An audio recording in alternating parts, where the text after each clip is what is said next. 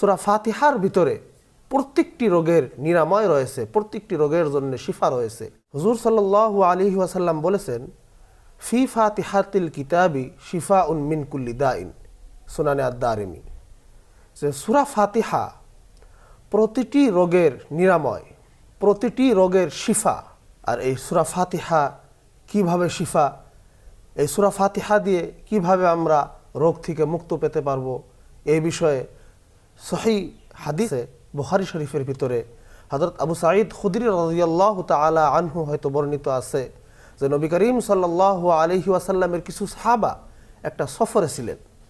ওই সফরে আরবের একটা গ্রামের পাশে আসিলেন তখন সাহাবাগণ সফরের হালতে ছিলেন, খাওয়ার কোনো বস্তু ছিল না। তখন ওই গ্রামের যেটা সর্দার, গ্রামের যেগুলো মানুষ আছে, ওদেরকে বলেছিল যে আমাদের থাকার জন্য ব্যবস্থা করে দাও বা আমাদেরকে খাওয়ার জন্য বন্দোবস্ত করে দাও। তখন ওই গ্রামের মানুষ, ওই গ্রামের সর্দার সমস্ত সাহাবিকে বারণ করছিল যে না, এখানে কোনো থাকার ব্যবস্থা নাই বা এখানে কোনো খাওয়া দাওয়ার কোনো ব্যবস্থা নাই। ওই সাহাবার, ওই কাফেলা ওই গ্রামের পাশে একটি জায়গায় পড়াও ডাললেন।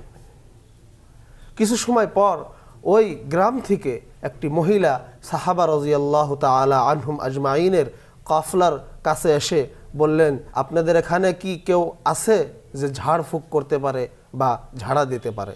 তখন আবু সাঈদ খুদির রাজিয়াল্লাহ তালা আনহু বললেন যে, হা হা, আমি আছি, কি হয়েছে? তখন ওই মহিলাটি বললেন যে, আমার গ্রামের বা আমার কাবিলার যেটা সর্দার, সর্দারকে বিচ্ছু হয়ে কেটেছে। তখন আবু সাঈদ খুদির রাজিয়াল্লাহ তালা আনহু বললেন, হা হা, আমি চিকিৎসা করতে পারব, চলো আমাকে নিয়ে চলো। তখন ওখানে গিয়ে দেখেন যে, ওই গ্রামের সর্দারকে বিচ্ছু হয়ে কেটেছে। তখন হজরত আবু সাঈদ খুদির রাজিয়াল্লাহ তালা আহনু কি করলেন? সুরা ফাতিহাকে সুন্দরভাবে পড়ে ওই জায়গাত ফু দিয়ে একটি ব্লেড বা কোনো বস্তুর সাহায্য নিয়ে ওই জায়গা তার এরকম করে কাট লাগাইলেন। কাট লাগায় মুখ দিয়ে ওই রক্তকে চুষে বার করলেন। তারপরে আবার সুরা ফাতিহা পরে ওখানে ফু দিয়ে আবার রক্তটাকে চুষে বের করে দিলেন। এরকমভাবে ওই বিষাক্ত রক্তকে মুখ দিয়ে চুষে বার করে দিলেন। তারপরেই ওই মানুষটা শিফায়াব হয়ে গেলেন, সুস্থ হয়ে গেলেন।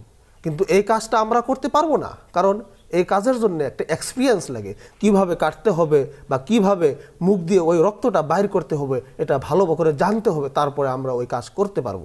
তো হাদিসের ভিতরে এসেছে যে সুরা ফাতিহার এই ফজিলত। সুরা ফাতিহার এত ফজিলত যে আমরা আসলেতে ওই সুরা ফাতিহাকে আমরা শুদ্ধভাবে কাজে লাগাতে পারি না। সম্মানীয় দর্শক, আসুন আমরা এই সুরা ফাতিহাটাকে অর্থ সহ আমরা একবার শুনে নিই। আউযু বিল্লাহি মিনাশ শাইতানির রাজিম। বিসমিল্লাহির রহমানির রহিম। আলহামদুলিল্লাহি রাব্বিল আলামিন। সমস্ত প্রশংসা ওই মহান রব্বুল ইজ্জতের জন্য, যিনি নিখিল জাহানের রব। আর রহমানির রহিম। পরম দয়ালু ও করুণাময়। মালিক ইয়াউমিদ্দিন। কিয়ামতের দিবসের মালিক। ইয়া কানা আবুদু ইয়া কানাস্তাইন আমরা একমাত্র তোমারই ইবাদত করি এবং তোমারই কাছে সাহায্য চাই। সিরাতাল মুস্তাকিম। তুমি আমাদেরকে সহজ পথ দেখে দাও। সিরাতাল্লাযীনা আন'আমতা আলাইহিম। তাদের পথ যাদের প্রতি তুমি ইনাম রেখেছো।